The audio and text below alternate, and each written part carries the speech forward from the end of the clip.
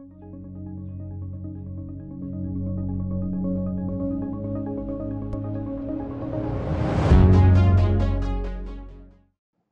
everyone, uh, welcome to this session on cybersecurity. So today we are going to discuss about uh, credit card frauds with respect to mobile and wireless devices. So the trends in mobile computing are uh, m-commerce as well as m-banking.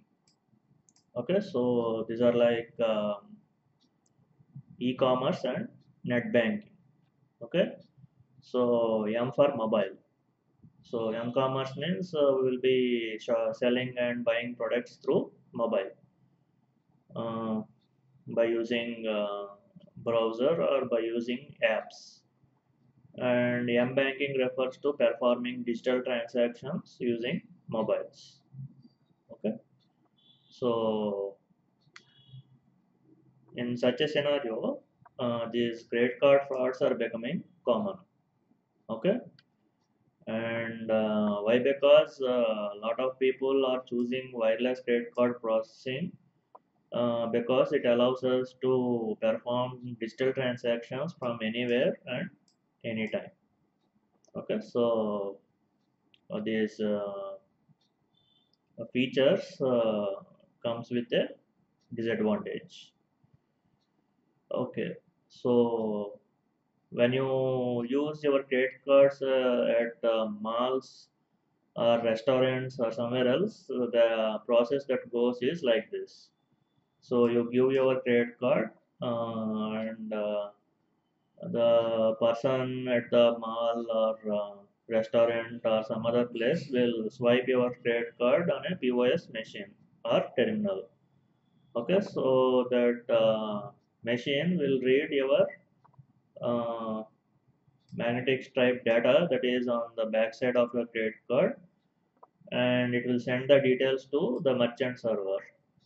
Okay so this merchant server is uh, either the server in the mall or it is a server in the restaurant or some other place so they will have a server uh, or a system and that server will forward the data to their bank. Okay? And then the bank server will forward that data to the another bank which issued the card that is this card. Okay? And then it again sends back the information uh, that is whether the details are correct or not or whether balance is there or not etc and the transaction will complete. Okay? So this is the basic process. And the thing you are seeing on the screen is this is um, the system designed by australia company called alacrity. So this is the company name alacrity. And the system name is called closed loop environment for wireless. Okay c l e w. Closed loop environment environment for wireless.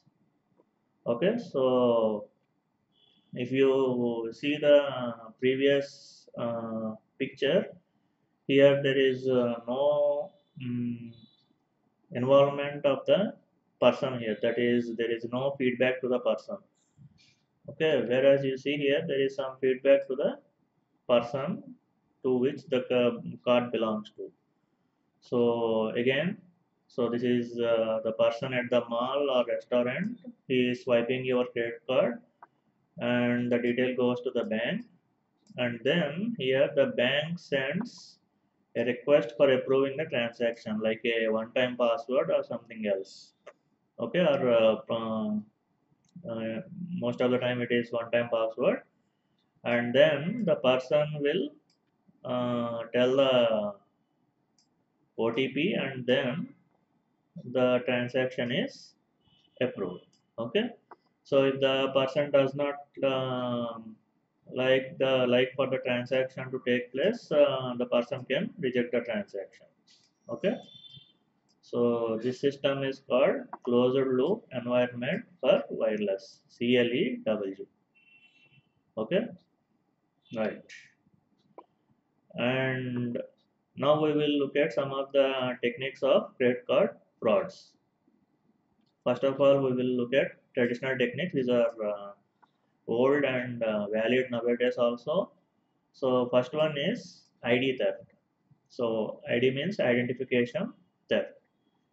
Mm, as we previously discussed in uh, mm, other sessions, uh, we can they can use I mean the attackers can use uh, techniques like uh, phishing and other social engineering techniques. Uh, they can use malware like uh, keyloggers, virus, worms, or trojans, and they can gather your identification details like what is your uh, first name, last name, uh, what is your address, what is your uh, mm, social security number or Aadhaar card number, uh, what is your mobile number. Okay, all these details can be obtained by the attackers. That is called ID theft. Okay, and then by using ID theft, they can perform financial fraud.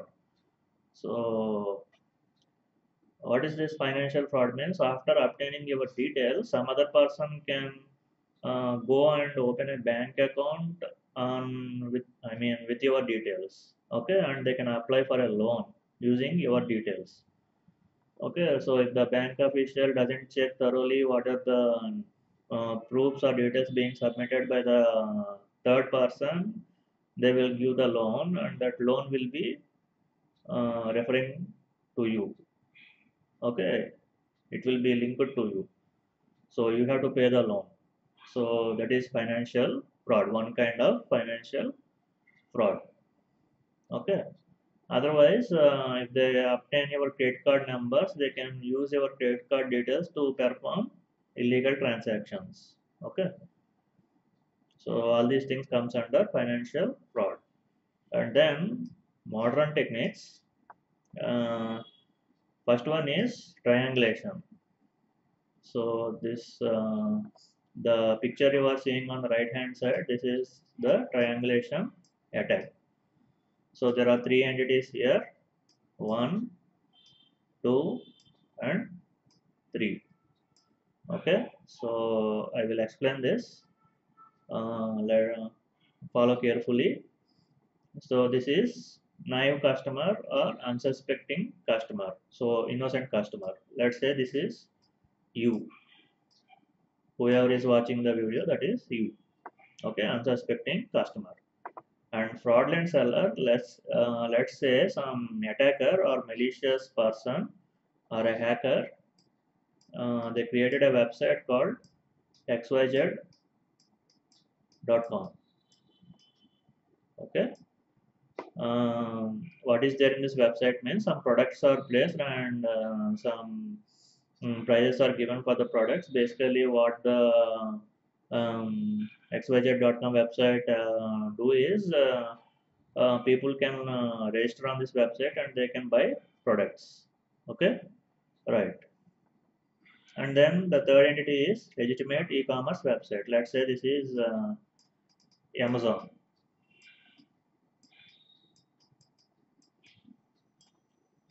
or if it is uh, India, you can consider Flipkart.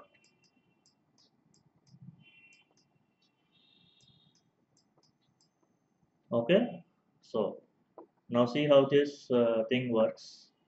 So this uh, owner or um, mm, people who belong to this xyz.com, the malicious website, they will send the data to I mean, they will send some invitation kind of thing to you, okay, to the unsuspecting customer, uh, which is you. Okay, they can send the information through SMS, mm, they can send the information through email, or uh, they can advertise their uh, offers on uh, third party websites so somehow you have seen this uh, information about xyz.com and you are interested in that uh, uh, product and you uh, went to this product. Uh, sorry you opened this website in the browser and you selected the product you want and you actually paid for that. Okay the site is uh, xyz.com is looking like a legitimate uh, website or everything is fine and you uh, selected some product and you paid for it. Okay you ordered some product. Okay while uh, making the payment let's say you have given your credit card details along with all the necessary information sen- uh, necessary sensitive information. Okay and all that data is stored in the database of xyz.com okay now what the uh, owner or people related to xyz.com do is they will actually order that product from legitimate websites. So you you have ordered a product now they will forward the same details to legitimate e-commerce websites like amazon or flipkart. And they will make the payment also. Okay? And then the product is sent to you okay you got your product and everything is good. Okay. Now what happens is you might be wondering where is the uh, bad thing in this? Now after one month or uh, 10 months or even one year you have forgotten what you have done previously. You have forgotten about xyz.com now what they will do is since they got your credit card details in the database they can do various fraudulent activities. They can make their own purchases from different websites. Okay. And you will lose all your money. So you don't know who is buying all these products. And you will get you will be getting uh, messages uh, that is uh, sms or through email that uh, different transactions are being performed on your account. And there is panic everywhere okay so this is called triangulation attack. Right.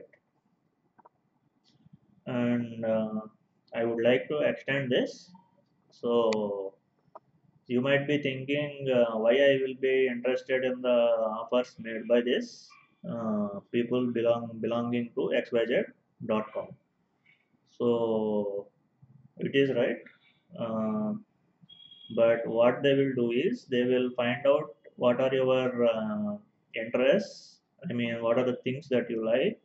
And they will send the advertisement or uh, details that is um, mm, associated with the things you like. Now you might be wondering how do the how do these people know what i like? Of course how how they cannot know. All the things that you like uh, are on the social media websites like facebook instagram etc etc okay so everything is public and they will uh, see that information and they will make you offers based on that information. So please be careful on what kind of information you are sharing on the social websites.